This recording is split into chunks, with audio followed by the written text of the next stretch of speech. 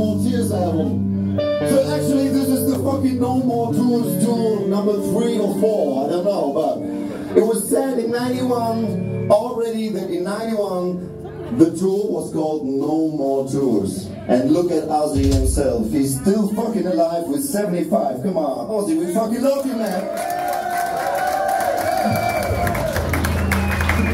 But I know one song which he's never gonna sing again on stage. So we're gonna do it for him. Oh, Ozzy, we love you and we love your wife.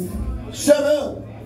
Because this song has been written for Sharon Osbourne by Ozzy himself and Mr. Lemmy Kilmister. Come on, Lemmy yeah! Yeah! His name is called Mama, I'm Coming Home.